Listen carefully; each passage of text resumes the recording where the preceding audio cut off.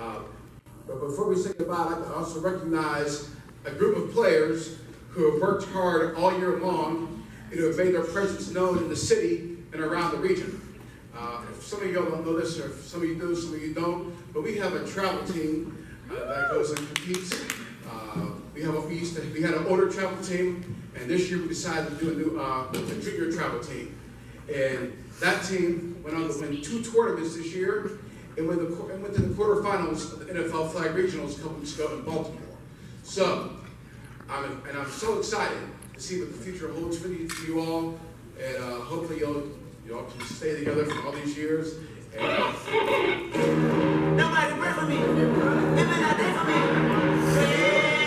Yeah, yeah, yeah. I remember syrup sandwiches and crime allowances, finessing on them with some counterfeits, but now I'm counting this. Parmesan with my accountant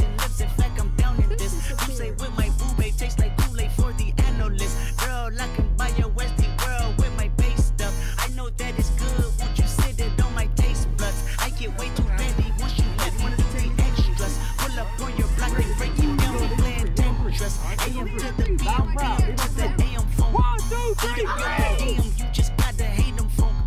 If I quit your deal, I still got Mercedes phone. If I quit this season, I still write the greatest phone. My left stroke just You gotta- you gotta help the defense, man. Right stroke put a baby in the spiral. Soprano see okay, like to keep it on the high note. we got 'em. It's One, two, three, you and I know. One, two, three. Sit down.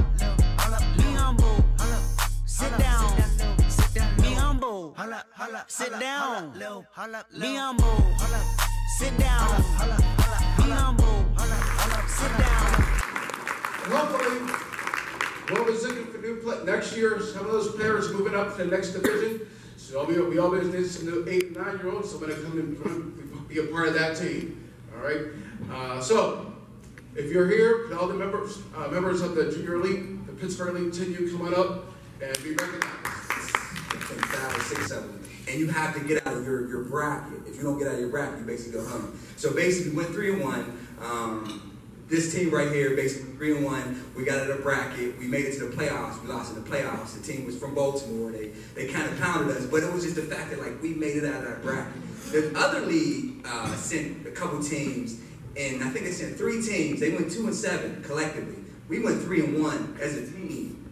And it just shows like we put in so much work. Like the very first tournament we went to, I think we was uh, I think we was the eighth seed. We beat, knocked off the number one seed, made it to the semifinals, lost. Uh, I think by a touchdown. I think the very next tournament we went to, same thing, made it to the semifinals. I think we lost by a touchdown. So we're right there. We're nipping at the door, like we're right there. And it's and it's kids from our league. We're not getting anybody that's not from our league. These kids that played in our league.